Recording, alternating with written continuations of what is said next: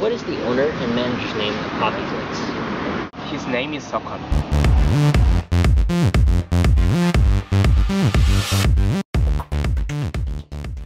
Why did he start Coffee Flix? Was there some special inspiration? He didn't have any particular inspiration to start this coffee place. The opportunity just came up and he took it.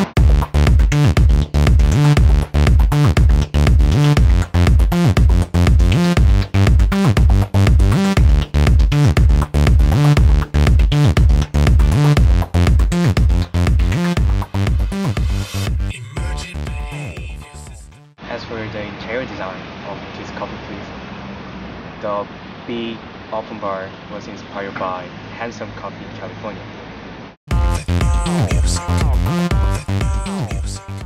What coffee beans does he use, and why? He has been a barista for a while and he has tried many different coffee beans.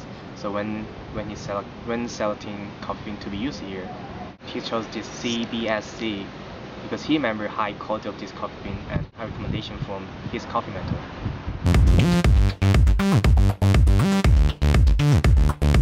What makes Coffee Flix unique? As you know, other coffee shops has a closed bar, but Coffee Flix doesn't. It has huge open bar, and because everything is open, customer can see everything's park and street, and huge stack out front.